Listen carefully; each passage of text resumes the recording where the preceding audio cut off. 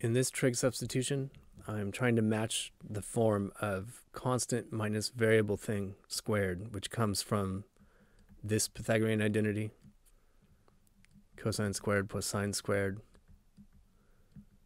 equals 1. That means the cosine squared of this angle is 1 minus sine squared, which looks like a constant minus variable thing squared. So I'm definitely going to substitute in a sine function. I have to take care of the 9 at the same time. So what I'm going to do is say let x equal 3 sine theta, so that when I square it, I get a 9. And dx is going to be 3 cosine theta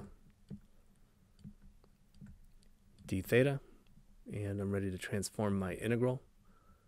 So this becomes the integral of dx, that's 3 cosine theta d theta over 9 minus x squared, but that's 9 sine squared theta to the 3 halves. All right, I'm going to go ahead and pull the 3 out in front. And then out of the denominator, I'm going to take a 9 out of out of this term. And when I factor that out, I get 9 to the 3 halves. That means you square root it and then cube the result. So I end up with the square root being 3, and then cubing it, I get 27. So this numerator is a cosine theta d theta. And then inside these parentheses, I have now a 1 minus sine squared theta, which is cosine squared theta to the 3 halves. Simplifying the constants out in front, that's a 1 over 9.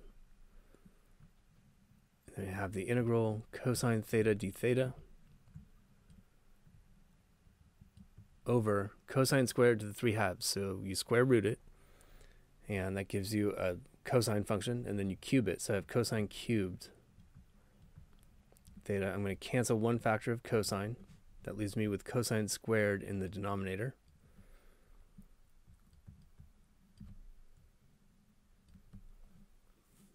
But the secant function is 1 over cosine, so I have secant squared d theta.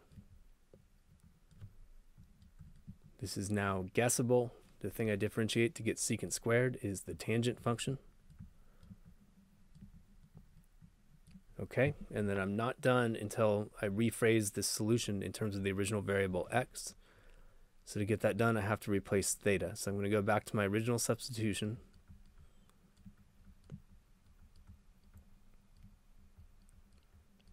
So x over 3 is sine theta. That means theta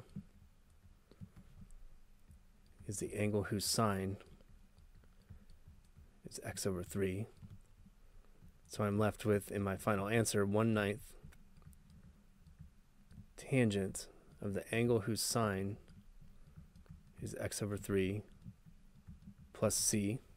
And to figure out what the tangent of the inverse sine is, I'm going to draw a little triangle.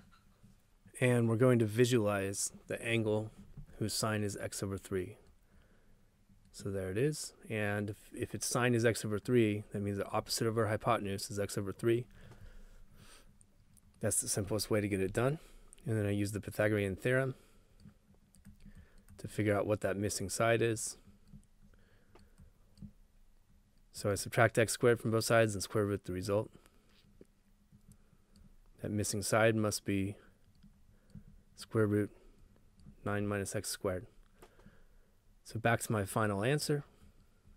I need the tangent of this angle, and that's going to be the opposite over adjacent.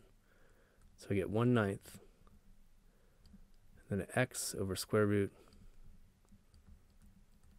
9 minus x squared plus c.